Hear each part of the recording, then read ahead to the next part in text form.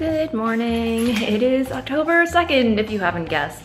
And I am about to commute down to the dye dungeon.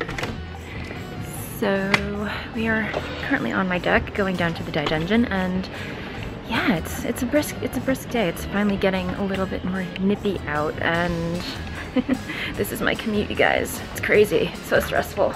Uh, anyway, we are currently in a dungeon setting, as you can clearly see. This is what it's like underneath our deck. It's spooky. And there are spiders too, so extra spooky.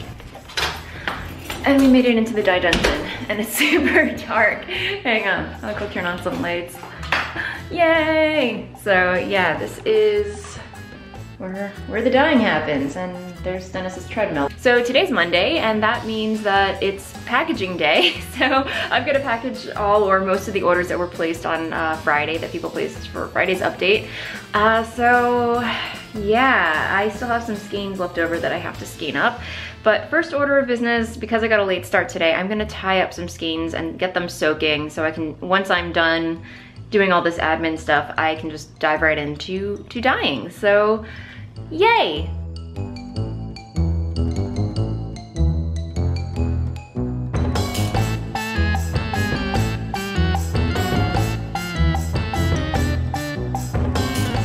So today is off to a really, really slow start.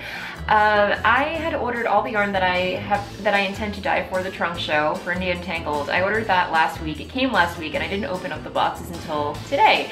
And I just realized that I ordered the wrong Nuvo base. Or, I, or it's a skinny single, but it's the wrong fiber content. So I hopped on to customer service, I emailed them, and it turns out they are actually out of my my regular Nouveau base. I had a compromise and I decided that instead of skinny singles or my Nouveau base, I'm gonna have my cocoon base back. So if you're not familiar with my cocoon base, that is a superwash BFL Blue Face Leicester Aran weight yarn. It's really lovely. I've been meaning to bring it back. Uh, so that will be on tap for the trunk show apparently. So I'm not I'm not complaining, but I really did want my singles base to be there at the trunk show, but oh well. As Tim Gunn would say, make it work. Mondays are Mondays are always awesome, so. Someone's making herself very comfortable. Are you sitting on my samples? Yeah? Why are you sitting on my samples? Okay, it's it's almost one o'clock. I have to eat lunch, but uh, yarn is soaking. Crisis averted. They are actually expecting more of the singles in next week. So having those come next week, but in the meantime, I ordered some more Aran weight yarn. So I'll have a nice little mix of bases uh, for the trunk show. Yay, okay, lunchtime.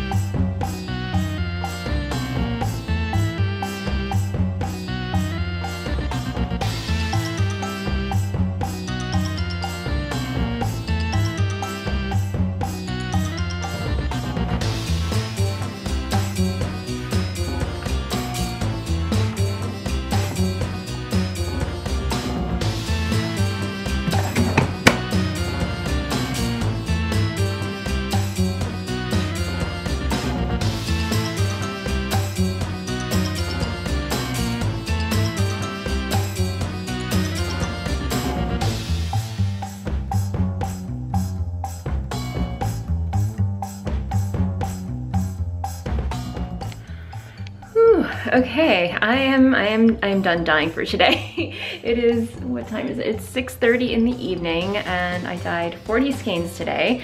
And I guess I can show you here. We have some Farah. and some resend. It was a long day, I'm not gonna lie. I will give you a proper tour of the dye dungeon one of these days, but uh, yeah, today was not the day to do that because I just had a lot of work that I had to get done. But um, my hair is, is going, doing its own thing. Uh, and I have dye.